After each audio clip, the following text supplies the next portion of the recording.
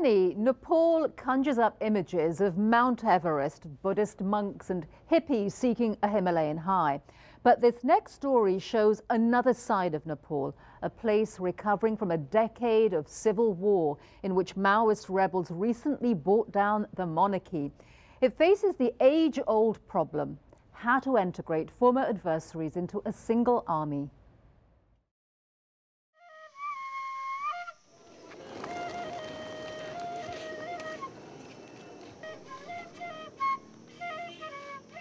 Peace has returned to Nepal. The streets of the capital once again hum with traffic. Merchants and schoolchildren go about their daily routine carefree.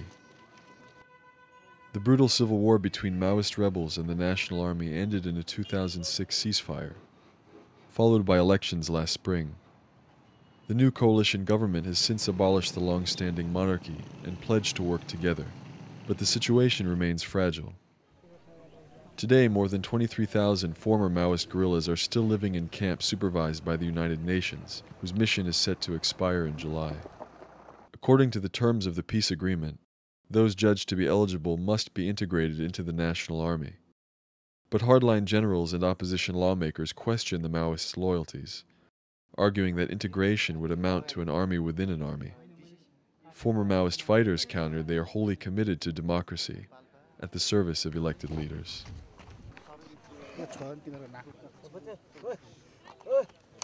I'm Sandesh Subedi, alias Hardik. I'm platoon vice commander here.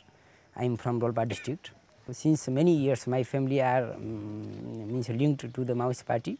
So I motivated um, from the both sides, um, from the students' friends, and from my father's mothers.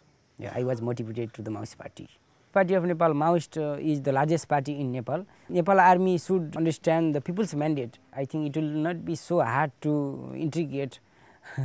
we are ready, if the government say mm, you are ready to um, integrate, then we are ready.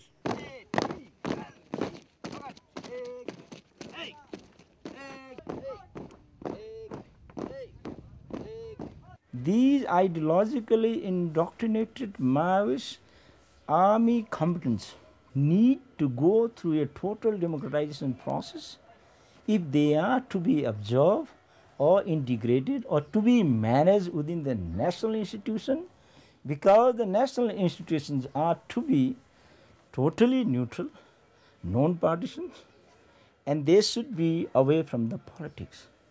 They have to uh, change their attitude and they should agree with the fundamental principle of democracy uh, that is the test for Maoist, whether they have changed the objective or they have only changed the strategy to grasp the power. Ideological indoctrinate army cannot enter inside national army. Nepali people fought so long against the despotic regime of the king. That is why the big questions with us is whether Maoists will come in democratic process by their behavior, by their action or not.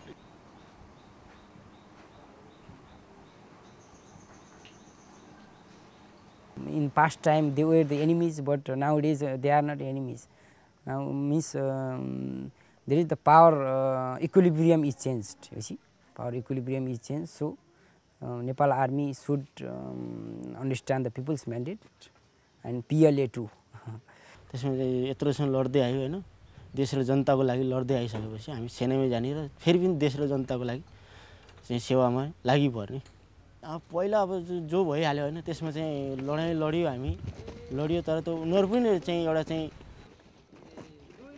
राजतन्त्रको पक्षमा लाएर व्यक्तिगत स्वामित्वको हिसाबले चाहिँ लडेका थिए भनेदेखि अहिले राष्ट्रियता र जनताको हितको लागि चाहिँ तिनी रूपान्तर भएर आउँछन् भने हामी त्यसमा कुनै गाह्रो विषय परेन हामी चाहिँ सहमति लिनु पनि हाम्रो पूर्ण अधिकार छ हामी जान्छौँ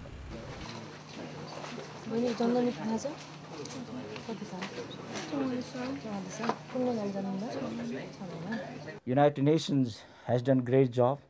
Uh, it is great, uh, you know, that uh, potentiality and there are other parts of the world uh, where uh, you know the international community must focus. A nation like us, if we are improving and we can handle ourselves, uh, then the international uh, community's moral obligation is somewhere else rather than here.